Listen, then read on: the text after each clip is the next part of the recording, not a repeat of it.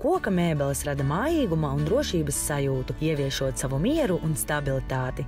Dārza mēbeles spēj uzbūrt dabisku mājīgumu pat pilsētā, ienesot dziedinošo meža enerģiju jūsu mājās.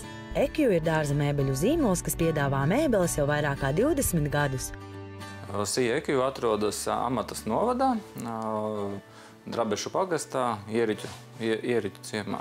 Un uh, vieglāk, lai mūs uh, saprastu, kur mēs esam, mēs esam starp Cēsīm un Siguldu, apmēram pa vidu pie Vidzemes šosejas. Ekiju nodarbojās ar uh, dārza mēbeļu ražošanu un uh, dārza, uh, dārza aksesuāru ražošanu no masīvu koka. Mēs izmantojam egli, priedi un arī mazliet lapegli pēc klientu vēlmēm.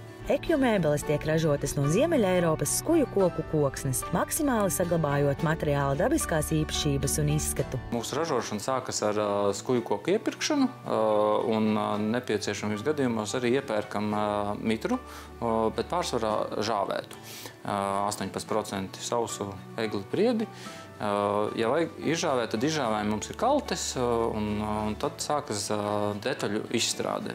Process vienkārši šēvelējam, garinam, tad sagarinātās detaļas frēzējam, urbjam, kaļam, slīpējam, līmējam un galvenokārt impregnējam. Mūsu teiksim, mēbeles pārdodam impregnētas, lai ilgmūžību nodrošinātu un aizsardzību pret klimatiskiem apstākļiem. Koki, kas aug skarbos apstākļos, ir norūdījušies, kļuvuši sīksti un izturīgi. Arī mēbeles, kas gatavotas no šādas koksnes, kalpos ilgi, jo īpaši tādēļ, ka ekju veids arī apstrādi koksnes aizsardzībai. Kvalitāte mums ir ļoti labi uzņēmuma ieaudzināta kultūra, kad katrs darbinieks pats kontrolē kvalitāti. Nav atsevišķa kvalitātes kontroliera, bet mēs katru paku marķējam un uz katras pakas cilvēks atzīmē, ka viņš to paku ir saražojis. Neviens negrib savu vārdu rakstīt uz nekvalitatīvas preces.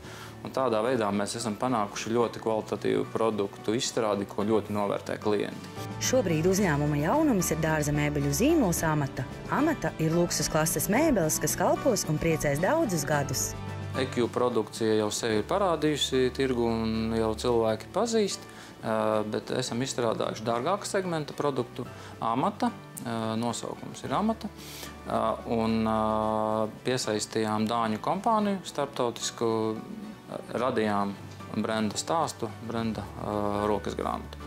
Arī veicām konkursu ar dizaineru meklēšanu, kuri mums palīdzēs dizainēt šos skaistos produktus un atradām Dānijas dizainerus un Somijas. Esam sākuši jau listēt pārdošanā šo produkciju. Pirmais internetu veikals ir Vācijā, Vācijas zīmola internetu veikals, kurš tikai tirgo zīmola produkciju, jo ļoti atlasa sadarbības partners, ar kuriem strādā.